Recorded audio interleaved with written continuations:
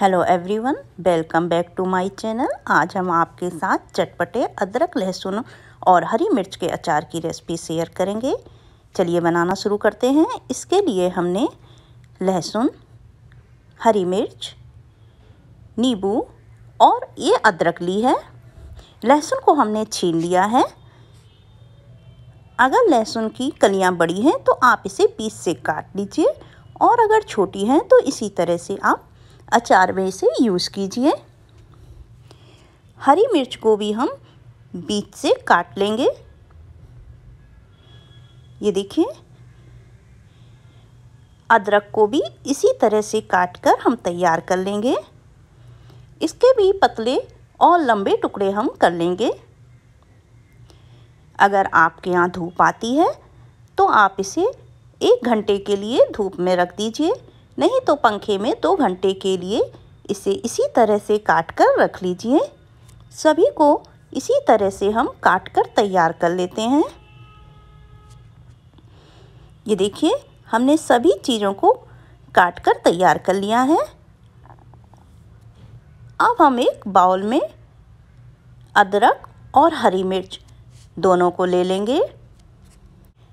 और जो हमने तीन नींबू लिए थे, उनका रस हम इसमें डाल देंगे। नींबू से मिर्ची में तीखापन कम हो जाएगा और खट्टापन अचार में आ जाएगा। अब इसमें एक चम्मच हल्दी पाउडर और एक चम्मच नमक डालेंगे। दोनों को अच्छे से मिक्स कर लेते हैं। अब अचार के लिए कुछ मसाले तैयार करेंगे। यहाँ पर हमने एक चम्मच सौंफ, दो चम्मच राई, दस बारह काली मिर्च और आधा चम्मच मेथी दाना लिया है। सभी को पैन पर डालकर सूखा ही रोस्ट करेंगे। इन्हें हम ज़्यादा रोस्ट नहीं करेंगे, बस इनका मॉइस्चर अलग ना हो।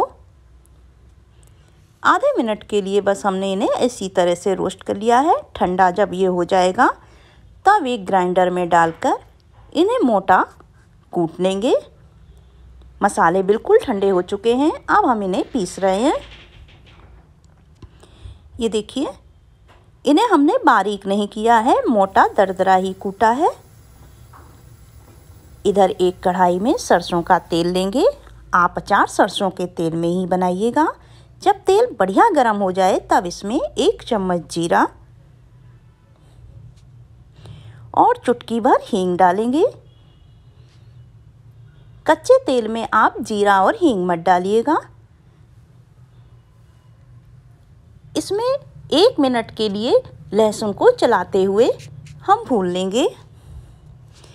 इससे लहसुन की स्मेल निकल जाएगी और कच्चापन भी लहसुन में नहीं रहेगा। इस तरह से अचार बनाने से आपके अचार का टेस्ट बढ़ जाएगा। और हम इंस्टेंट अचार बना रहे हैं, इसलिए भी हम लहसुन को पहले से ही थोड़ा सा भून लेते हैं।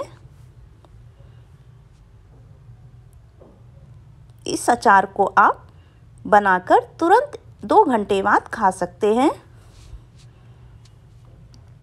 लहसुन भी बढ़िया फ्राई हो चुका है। इसका कलर ना चेंज हो, बस इतना ही आप इसे भूनिएगा, ज़्यादा लहसुन को नहीं पकाइएगा। आधी चम्मच इसमें हल्दी डाल देते हैं। हल्दी हमने पहले भी डाली थी।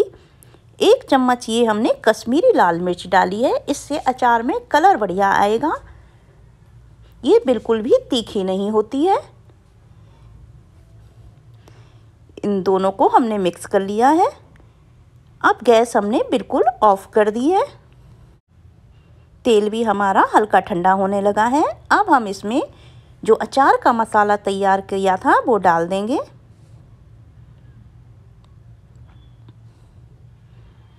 अब अदरक और हरी मिर्च को भी इसमें मिक्स कर देंगे। अच्छे से सभी को मिक्स कर लेते हैं। और लीजिए हमारा चटपटा।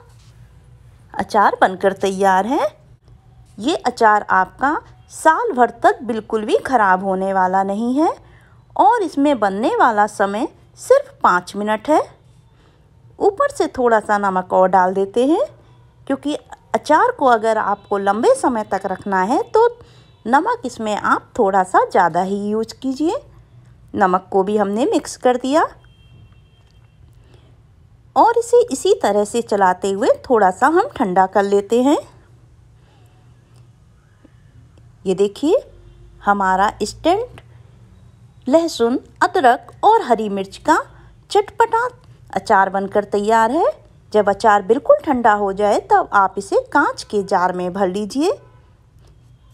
कांच का जार आप बिल्कुल सूखा यूज़ कीजिए, नहीं तो आपका अचार ख़राब हो सकता है। ये देखिए, अचार बनकर तैयार है। आप इसे रोटी, पूड़ी, पराठा या सब्ज़ी ना होने पर भी यूज़ कर सकते हैं। खाने में बहुत ही ज़्यादा टेस्टी है। अब आप ये बताइए कि आपको हमारी ये अचार की रेसिपी कैसी लगी? कमेंट करके ज़रूर बताइएगा। और यदि रेसिपी अच्छी लगे तो उसे लाइक, शेयर और कमेंट ज़रूर करें। चैनल को सब्सक्राइब करना तो बिल्कुल भी ना भूलें। Thank you.